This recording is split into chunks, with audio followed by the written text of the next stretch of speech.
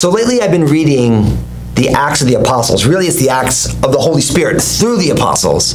But one of the things that I've been so captivated by as I've been reading, especially the beginning of the first number of chapters of the book of Acts, is that the apostles were filled with the Spirit over and over and over again. And it reminds me of what the Apostle Paul said in Ephesians chapter 5, where he said uh, that we should be filled with the Holy Spirit. And in the Greek language, that word be filled is in the present continuous tense, which means keep on being filled with the Holy Spirit. So here's what I want to encourage you.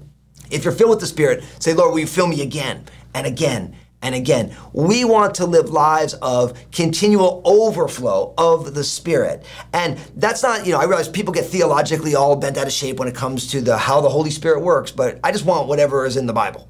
And so when God's word says that the, the, the apostles were filled and then they were filled again and they were filled again, I'm like, that's what I want. And that's what we should want. So listen, let's be being filled with the Holy Spirit and let's let Jesus do his work in our lives. God bless you.